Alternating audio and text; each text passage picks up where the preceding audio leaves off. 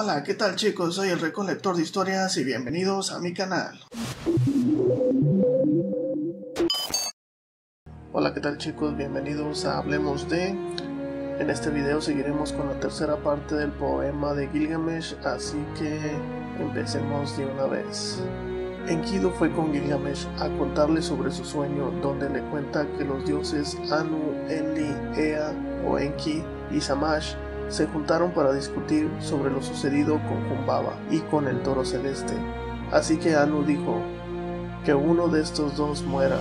Enlil habló que muera Enkidu, pero que no muera Gilgamesh. A lo que Samash le preguntó, ¿que no les diste tú la bendición para matar al toro celeste y a Humbaba? ¿Y ahora tiene que morir el inocente Enkidu?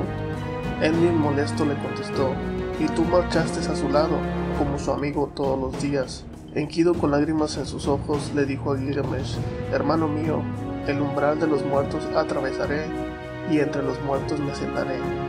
Nunca más pondré mis ojos en mi querido hermano. Gilgamesh escuchó y le dijo a Enkidu, amigo mío, tu corazón dice blasfemias, qué tan especial era tu sueño, grande era tu ansiedad, los recelos eran grandes, el sueño era extraño.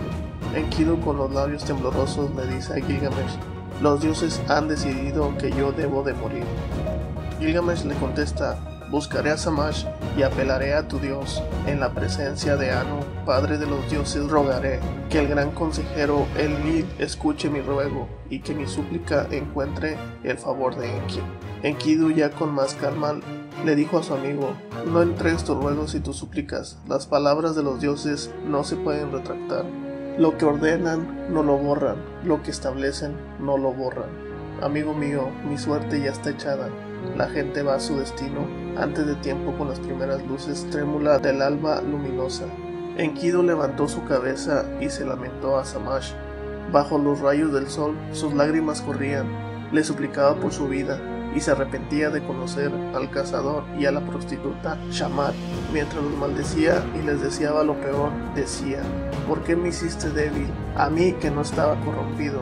Si en la estepa me debilitaste, a mí que no estaba corrompido. Samash desde el cielo escuchaba, se desilusionó de esas palabras. Enkido, ¿por qué maldices a Shamat? La ramera que te dio de comer pan que era digno de un dios, te dio de beber cerveza digna de un rey que te vistió y te dio un compañero, tu amigo, tu hermano, Gilgamesh. Enkidu escuchó estas palabras y su corazón enojado se calmó. Su corazón tan furioso se calmó. Su corazón ya no maldecía a Shaman. Su corazón ahora la bendecía. Ahora la llenaba de buenos deseos, esperando que todos se cumplieran. El tiempo pasó y Enkidu cayó enfermo. Pasaron 10 días y la enfermedad de Enkidu se agravaba. Enkidu yacía en su lecho y le habló a Gilgamesh. Dios se ha puesto en mi contra, amigo mío. No muero como alguien que cae en medio de la batalla. Aquel que cae en combate se hace famoso, pero yo no caigo en el combate y no seré famoso. Y así con las primeras luces trémulas del alba luminosa, Enkidu fallece. Gilgamesh empezó a llorar a su amigo. Oh Enkidu, a quien tu madre, una gacela, y tu padre, un onagro criaron a quien las bestias de la estepa enseñaron todos los pastos. Oh Enkidu, que los caminos del bosque de los cedros te lloren de día y de noche, que los ancianos de Uruk la cercada te lloren, que la multitud que nos dio las bendiciones te lloren, que los pastos se lamenten como tu madre, que te llore el cipres y el cedro, el oso, la hiena, el ciervo, el toro salvaje, todas las bestias de la estepa, que te llore el sagrado río Ulay, que te lloren los jóvenes de Uruk, que fueron testigos de cuando dimos muerte al toro celeste, que te llore la ramera que te ungía con aceite de dulce aroma, y en este mismo día yo también te lloraré. Escucharme todos en Uruk, lloraré amargamente por mi amigo que he perdido, oh amigo mío, con el que uní fuerzas, subimos la montaña, capturamos y dimos muerte al toro celeste, destruimos a Jumbaba, que moraba en el bosque de los cedros, y ahora, ¿qué sueño se ha apoderado de ti? Gilgamesh promulgó un edicto para el país, hizo que forjaran una estatua de su amigo para que la gente le llorara y lo pudiera recordar, que los dioses lo puedan ver y él siempre tendrá a su amigo a su lado. Por su amigo, Gilgamesh lloró amargamente y meditó sobre su propia mortalidad y empezó a temerle a la muerte. Y es ahí cuando fue en busca de Utanapisti, hijo de Ubartutu. Caminando sobre la estepa vio algunos leones y el miedo aumentó. Suplicó a los dioses para estar sano y salvo y cayendo la noche se acostó y durmió. Después de su sueño despertó, blandió el hacha en su mano y sacó el puñal de su cinturón. Se fue directo a los leones, a los cuales golpeó y mató. Se cubrió con sus pieles, comió su carne y siguió su camino.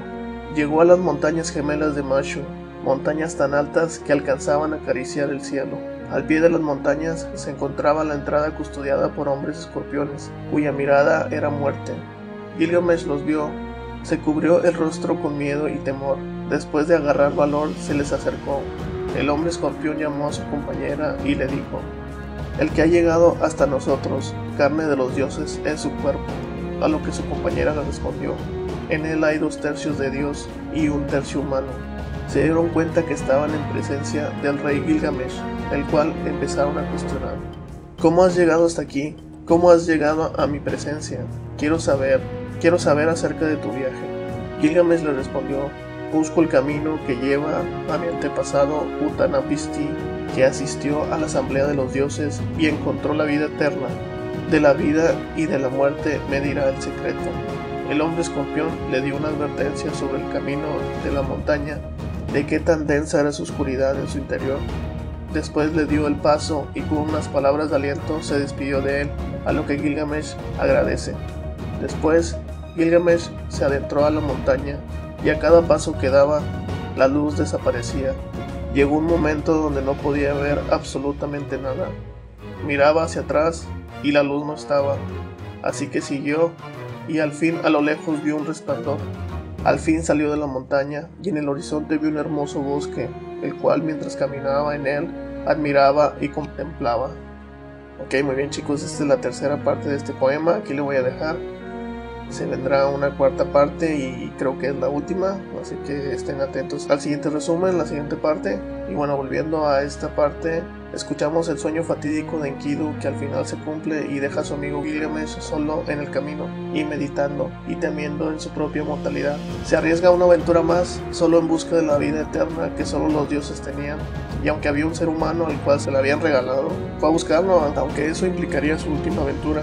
Y ahora ya escuchamos al nombre de Utana Pistin, que es el personaje que, que, es el equivalente al Noé bíblico. Solo que Utana Pistin está en registros históricos mucho, mucho, mucho antes que el Noé bíblico. Y en el próximo episodio veremos más de él, espero. La verdad, este es una de las partes que no recuerdo bien y no la he leído muy bien, así que ya les contaré en el próximo capítulo o la siguiente parte. Así que chicos, el próximo bueno, ya espero que sea el último de este resumen que les, que les he hecho de este poema de Gilgamesh, la obra literaria más antigua de nuestra civilización. Espero que les haya gustado y por favor eh, suscríbanse, síganme. Eh, ya estoy subiendo en Spotify también el sonido de, de, los videos que tengo en YouTube, si los quieren escuchar por ahí. Entonces por favor suscríbanse, síganme, denle like, compartan la verdad es gratis, me ayudarán un montón, espero que les vaya gustando y bueno, espero que me apoyen en este proyecto que, que va iniciando, pero espero que dure mucho tiempo. Y bueno, sin más que decirles, hasta pronto y adiós.